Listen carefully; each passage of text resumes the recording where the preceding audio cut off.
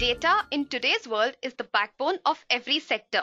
This data is organized into data structures which form the storehouse of data.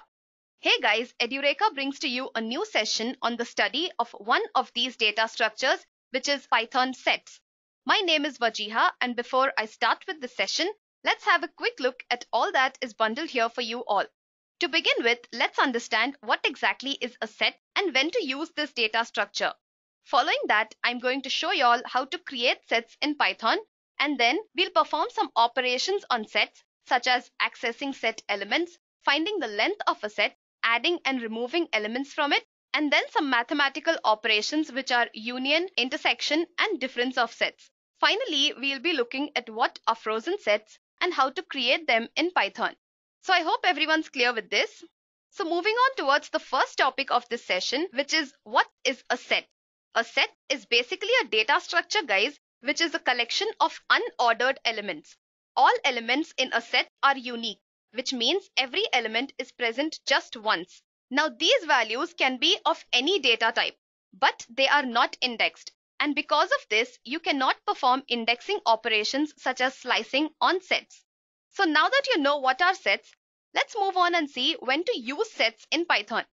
Sets can be used when the order of data actually does not matter, but the only concern is your data elements need to be unique. So now let's move on to see how to create sets in Python. To create sets in Python, you can use two methods. The first method is to use the curly braces and the second is to use the set constructor. I have a small example where I've created a set A using curly braces and a set B using the set constructor. Now let's move on towards our Jupyter notebook and create some sets in Python. The first thing I'm going to do over here is change the name of my notebook.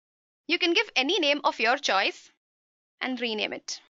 Like I've already told you, you can create sets in two ways. The first to use curly braces and the second to use the set constructor. Let's just create some sets using both these methods.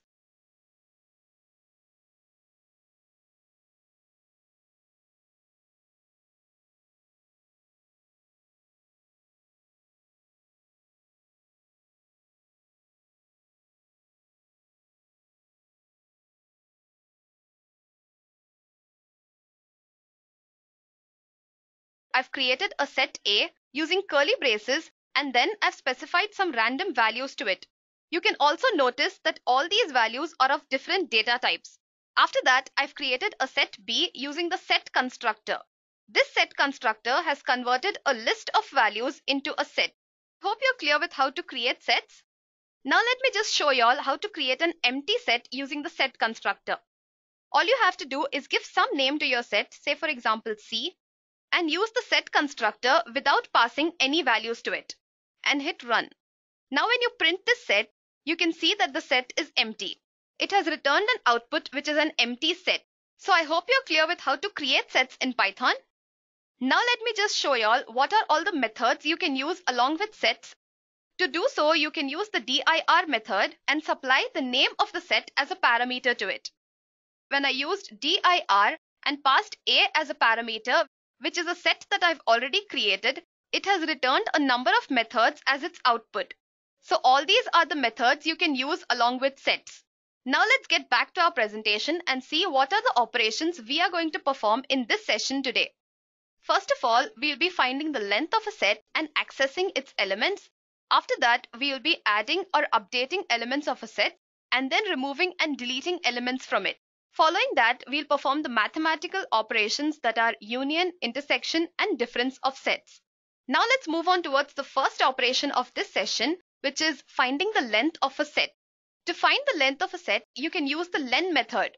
The length of a set is the number of elements that are actually present in that set. And this len function will return an integer value which is equal to the number of elements present in the set. I have a small example where I've created some random set with the name my set and I've passed some values to it. After that, I've used the len function and passed the name of the set as a parameter. Now let's go to our Jupyter notebook and see what happens when I do this. I've already created set A, B, and C. I'll just reprint my set A over here so that it's easy for us to refer to it. Now let's find the length of A. When I used len of A, it has returned 7 as the output, which is equal to the number of elements present in my set A. Now let's get back to our presentation and see how to access elements of a set. Since sets contain unordered elements, you cannot use index values to access its elements, but you can loop through it to access the elements of a set. I'll just jump onto my Jupyter notebook and show you all how to access set elements. I'll reprint my sets A and B over here.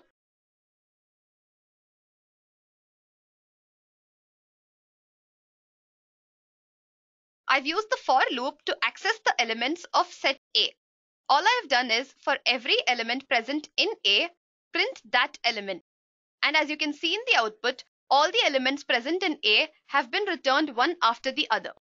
Now let's get back to our presentation and see how to add elements to a set.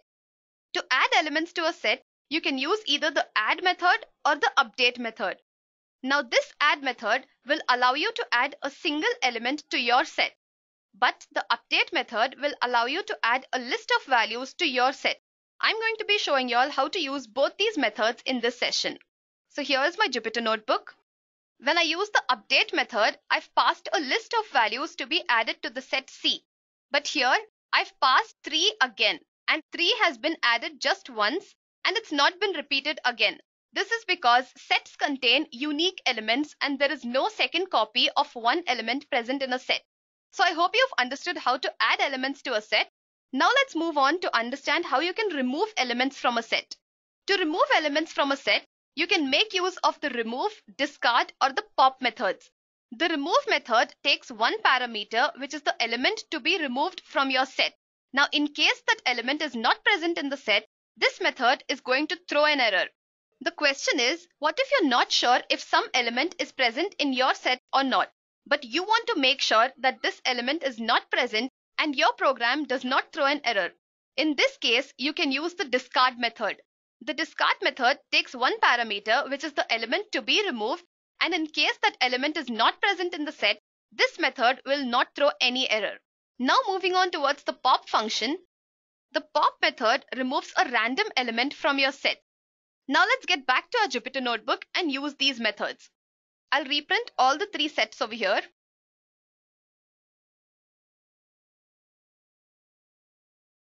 First, I will use the remove method.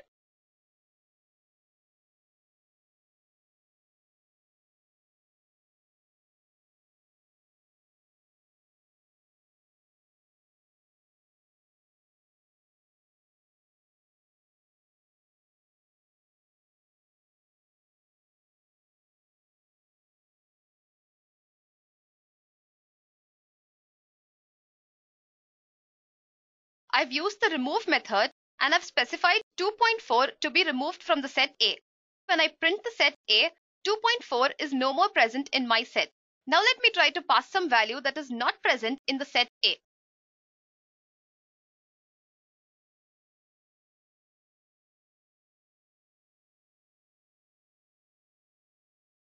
When I use a.remove6, which is not present in the set A, it has thrown an key error and it's specified that 6 is the key which is not present in the set A. So I hope you've understood how to use the remove method. Now let's use the discard method and see what happens.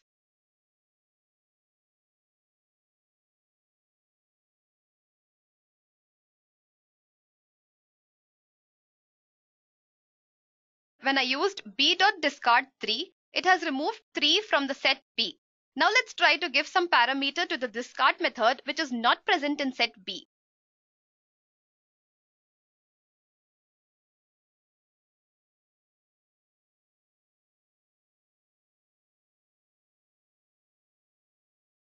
When I used b.discard90, it has executed but it has not thrown any error. So I hope you're clear with both these methods. Now let's try to use the pop method. When I used a.pop, it has popped some random value from the set A and it has returned it as the output over here. 1 is no more present in the set A. So I hope you're clear with how to add and remove elements from a set. Now let's move on to our presentation and see how you can find the union of sets. Union of sets refers to the concatenation of two or more sets into a single set. But in case you have any common values in these sets, the resulting set will contain just one copy of the common element. You can perform the union operation in two ways. One is using the pipeline symbol and the second is using the union method. I have a small example where I've created a set A and B and then I've used the pipeline symbol and the union method to find the union of these two sets. Let's go to our Jupyter notebook and see how this works. I'll reprint my sets A, B, C over here.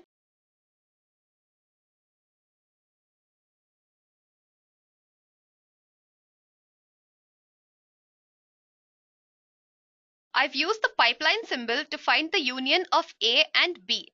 All the elements that are present in A and B has been returned as a new set which is the union of A and B. But the common element are just printed once. Now let's see how to use the union method to perform this operation. I've used the union method to find the union of A and B.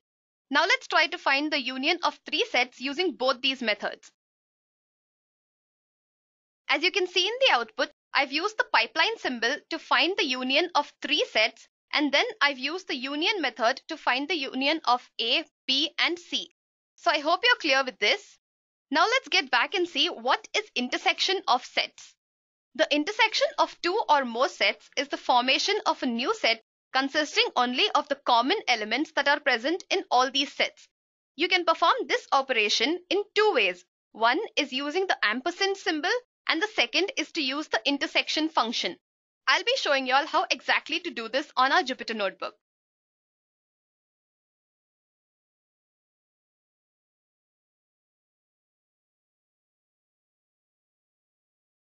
I've used the ampersand symbol to find the union of A and B. And you can see over here the elements that are common between the set A and B are 4 and ABC. Hence the output. Now let's try to use the intersection function. I've determined the intersection of A, B and C using the intersection function and the resultant is a string which is present in all these sets. So I hope you're clear with both these methods.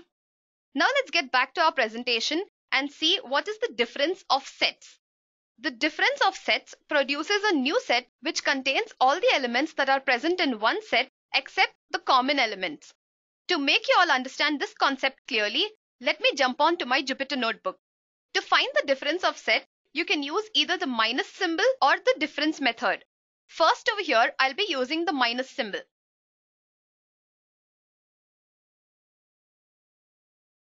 When I found the difference of A minus B, I've got all the elements that are present in A, but not the common elements of A and B.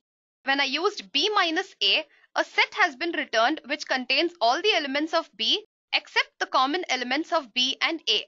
So I hope you're clear with what is the difference of sets. Now let's use the difference method to do the same. I've used the difference method to find A minus C. And as you can see, all the elements present in A but not the common elements of A and C have been returned as my output. You can use the difference method to find the difference of three sets as well. When I found the difference of A minus B minus C using the difference method, only one element has been returned which is present in A and not present in B and C. Hope you're clear with this. Now let's move on towards our final topic of this session, which is the concept of a frozen set. A frozen set is a set whose values cannot be modified, which means when you freeze a set, it becomes immutable. To create frozen sets in Python, you can use the frozen set method. As you all know, I've created a set A. Just make a note guys that you cannot add or remove values from a frozen set. As you all know, I've created a set A which is a normal set and I've been using it to add and remove values from it. Now let's freeze this set. I've created a new set D which is a frozen set and I've supplied the values of a as a parameter to this frozen set constructor. Now let's see what happens if I try to add some values to this frozen set. When I used d.add3, it has returned an attribute error which says frozen set object has no attribute add. Therefore, frozen sets are immutable and you cannot change the values present in the frozen set. Frozen set helps to serve as a key in a dictionary. So I hope you're clear with all that's been covered in this session today. So guys, this was our last topic of this session. I hope you've enjoyed and learned something new. Please make sure to practice as much as possible. And if you have any suggestions or queries, please do let me know in the comment section and I will revert to you at the earliest. Goodbye and take care.